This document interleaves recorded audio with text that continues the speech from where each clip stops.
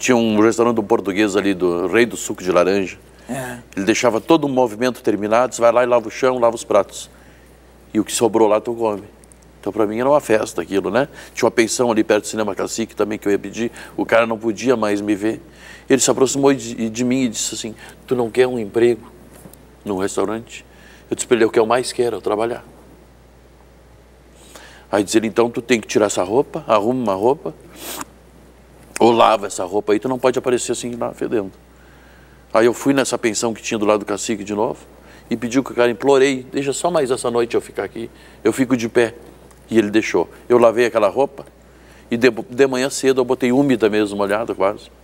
E fui lá esperar ele na frente da, da Assembleia, no restaurante do Dimmer, no 11 andar. O Joaquim Montes fez Não, isso? Não. esse senhor. É. Esse senhor que me levou, que me deu a oportunidade do meu primeiro emprego. Aham. Mas o Jo- Joaquim Mancos, que conhecia esse defensor público E, e onde é que e que indicou e mandou da Assembleia, porque eu peguei esse trabalho na Assembleia, Ah, por isso tá. que eu estou chegando lá. Porque o que acontece? Quando eu cheguei na, na, na Assem- na Assembleia, que esperei esse senhor de gravata, que era funcionário público, ele disse, como é que eu vou te levar desse jeito? Eu disse para te trocar de roupa. Os seguranças não vão deixar tu entrar. O chefe de segurança ainda era Ayrton Pimentel. Nunca me esqueço. Diz ele, eu vou fazer o seguinte, eu vou te levar escondido pelo elevador do serviço.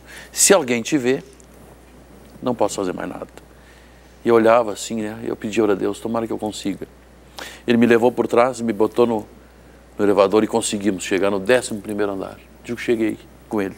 E parei fora do elevador, entramos no restaurante, diz ele, tu fica aqui. Foi lá, conversou. O dono do restaurante estava sentado tomando uísque, olhou, o Dimmer. Olhou para mim e disse, tu tá louco? Como é que eu vou botar essa criança aqui, esse guri a trabalhar aqui? Olha o estado dele.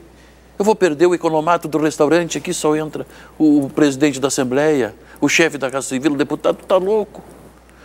Aí esse cidadão novamente cochichou no ouvido dele, tempo, conversaram, não sei o que, que ele disse, que- ele olhou para mim de novo e disse, tu faz o seguinte, quando ele disse, tu faz o seguinte, eu digo, vai abrir uma porta. Tu vai lá na cozinha, fala com a dona Maria, se ela quiser ficar contigo lá, tu limpa o chão, ajuda ela a lavar as coisas, só que tu não pode aparecer aqui. Se tu aparecer aqui, eu mando tu na hora descer as escadas. E nem pelo elevador. E eu fui lá e ela deixou limpar, ajudar a limpar. Esse e foi minha primeira que- oportunidade. Conseguiu esse emprego para ti. Aí o Monks me conheceu lá, o Luiz do Paraguaçu, um monte de gente, deputados, acabaram me conhecendo na Assembleia, viram que eu tinha bom indo, me ajudavam. Esse senhor que te levou, que te conseguiu esse emprego, tu mantém relações com ele? Ele existe ainda? Porque esse cara te salvou, né? É, nunca mais ouvi. Nunca mais ouvi. Bom, a partir daí, tu foste de um emprego para o outro, tu foste crescendo, etc e tal. Quando- Não, daí eu fui preso depois. Sim. Aí foi aonde eu tive ajuda, porque o pessoal da Assembleia me conheciam. E disse, não, ele tem boa índole. Nós sabemos o que está acontecendo com ele. Eles sabiam de tudo já, a meu respeito. Né? E o Monks indicou, ligou para o presídio, indicou, eu estava nas galerias, fui para charqueadas, e convivi tudo isso aí.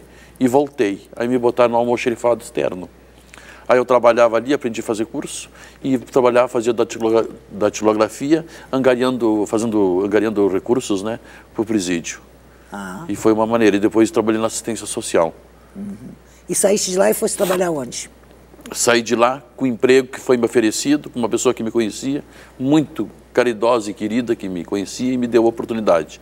Doutor, ah, que foi provedor da Santa Casa, foi presidente do Tribunal de Justiça, o doutor ah, Demo- ah, me esqueci o nome agora, que foi chefe da Santa Casa, depois eu me lembro. Daqui a pouco, né? Tu, quando É. lembrar, tu dizes.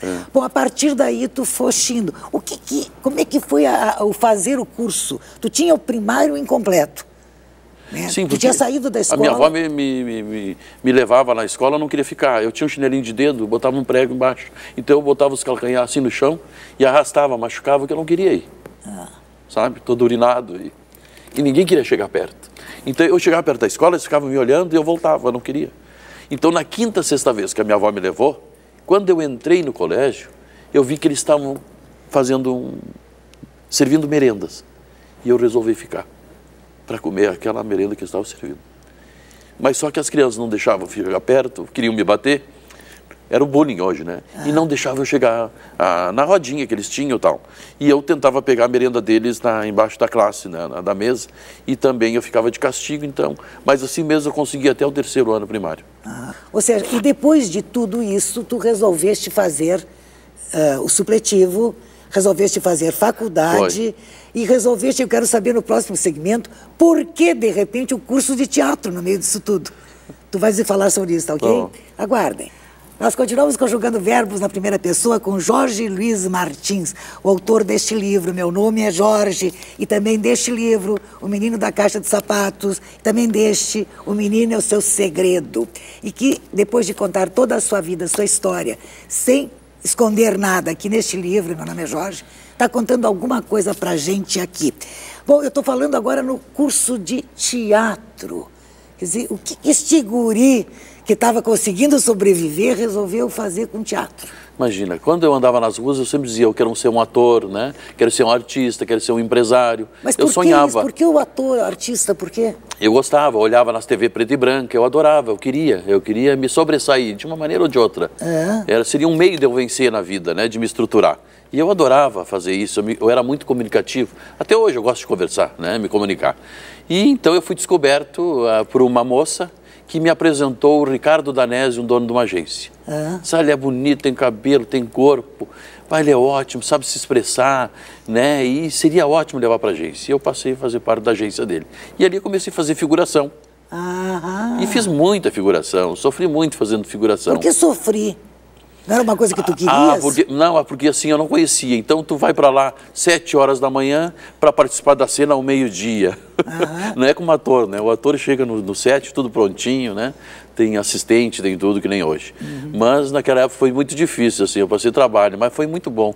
Foi Mas muito gratificante. Curso, começaste fazendo um curso de teatro. Tu aí, chegaste aí para o palco? Claro, aí eu fui, fui conheci o Zé Adão Barbosa. É? Me disseram, fala com o Zé, fala com isso. Fala... Aí eu fui, comecei a fazer teatro com o Zé Adão Barbosa, lá no Cais do Porto, lá perto da, do gasômetro. Uhum. E fiz o curso, fizemos apresentação em palco, né, do Shakespeare, Macbeth. Olha. É, e fiz amizade com o Adão. É. Sabe, até hoje trabalhamos junto, inclusive no Homem que Copiava. Uhum. E para mim foi um engrandecimento enorme.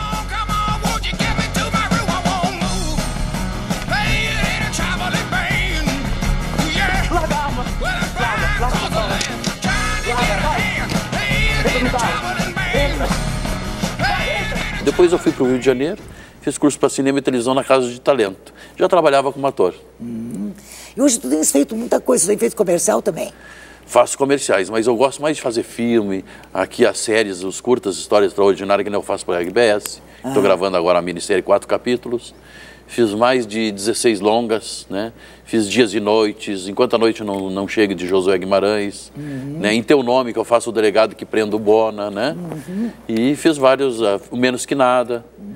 né? Bom, e agora fiz Nervos de Aço com o Claudinho. Pois é, e eu sei que agora tu estás te preparando para um filme a respeito do Jorge. Meu nome é Jorge. Está em pré-produção. Tá. Como é, qual é a ideia deste filme? O Claudinho que vai dirigir? O Claudinho que vai dirigir. Uhum. Mas o que, que é importante também desse filme, de tudo que está acontecendo, que tudo que tudo está acontecendo a partir do primeiro livro. As crianças, eu estou fazendo um trabalho do projeto Falando Verdades. Esse projeto Falando Verdades, eu vou à escola e dou palestra, faço bate-papo com alunos, ensino fundamental, ensino médio e universitários, e público em geral. Uhum. E esses alunos, esses professores trabalham interdisciplinarmente, né, com, com, com os livros, com, com, com, o texto, né, e eu propus também, tenho proposta no meu blog, onde o aluno leva um formulário para casa e faz a leitura com os pais. Uhum.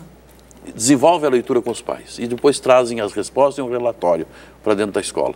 Então, isto está né, tá acontecendo aquilo que eu queria quando eu escrevi meu livro, que ele que o meu texto transformasse comportamento e talvez não mudasse paradigma. Uhum. Porque as pessoas me incentivaram, queriam que eu escrevesse. Jorge, tu é um exemplo. É um exemplo para esses jovens, né? Nós estamos tanto em falta de uma referência. Escreve, e eu escrevi com esse propósito. Tu estás fazendo aqui em Porto Alegre ou aqui no estado? Todo o estado e já saí fora também para o Brasil. Ah, onde é já que fui premiado já? em Goiás. Opa. Tive com o Luiz Fernando lá em. Nós tivemos em lá na na, em Poços de Calda, lá na, em Minas ah. Gerais, né? Uhum. É, também dando palestra. Que tipo de prêmio tu recebeste lá? Ah, Goi o prêmio de Goiás, lá do, do livro Meu Nome é Jorge. Uhum. Literatura em primeiro lugar. Destaque. Olha, beleza. E eu tô vendo aqui, tu trouxeste algumas cartinhas que tu recebe das crianças, né? Sim. Olha aqui, ó, aprendi a valorizar minha família, porque ela é muito importante na formação humana. Essa é uma. Obrigado por me ensinar, mesmo de longe, a dar real valor para a vida e dar real valor para a minha família. Essa, essa ênfase na família é uma coisa que aparece aqui para uma pessoa que não teve família. Exato. Ah. E que se preocupa com isso. Eu me preocupo com isso. Como é que é a tua vida hoje? Tu tens família hoje? Não, não tenho filho. É. Eu tenho uma companheira, mas não tenho filho. E, mas adoro criança. E acho que a família é fundamental. É o esteio de tudo, sabe? Então, um apelo que eu faço às famílias, aos pais, que se dediquem mais tempo aos seus filhos, acompanhe mais seus filhos, se coloque junto com seus filhos. Apaga um pouco a televisão, o rádio, uma vez por mês, senta com seus filhos na mesa e converse com seus filhos. Veja o que, que eles estão precisando, antes que um traficante ou um bandido os adote. Nesse encontro com crianças na escola, eles chegam a te dizer né, o que é que eles estão procurando, o que é que eles estão querendo, o que está incomodando? Falam muita coisa. Ah. E às vezes só comigo. Muitos querem conversar só comigo. A professora seleciona e fica aguardando e eles vêm falar comigo.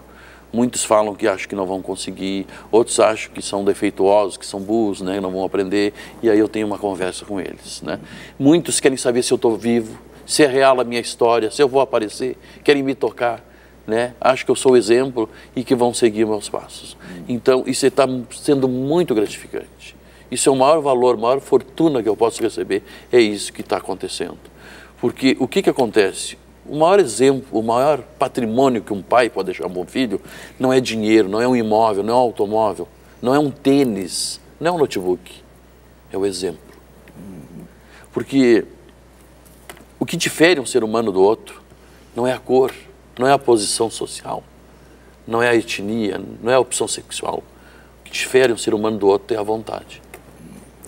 Hoje, né, tu foste um menino pobre que não tinha dinheiro para comer. Hoje tu tens dinheiro sobrando. Como é que tu lidas com dinheiro?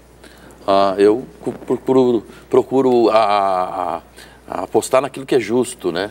Eu trabalho muito com beneficência também, eu sou padrinho aqui da Biblioteca da Fase, que eu auxilio muito, né?